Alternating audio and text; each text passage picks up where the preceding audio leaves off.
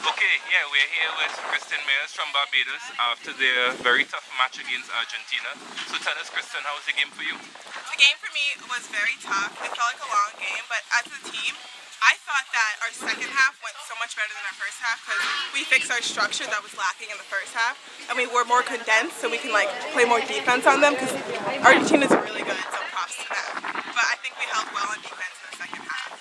For me, um, center mid most of the game, and my job was to keep the center and like tell people to shift left or right and back diagonal for Argentina to come onto us.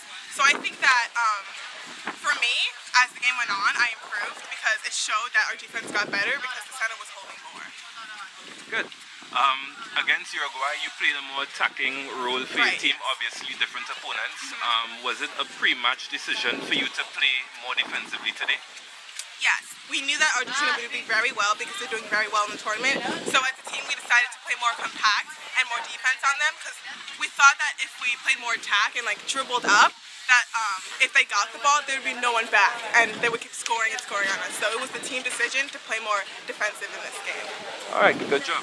Um, we have live streaming, so many of your fans at home probably saw the game. Yes. Anything you want to tell them at home? Yes. Um, to my Barbados family who is watching, um, thank you for supporting us, me and my sister. Um, we love you and thank you so much.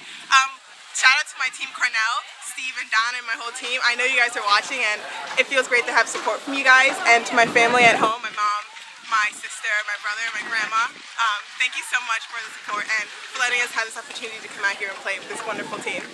All right, good job, Krysten. Have a good tournament. Thank you.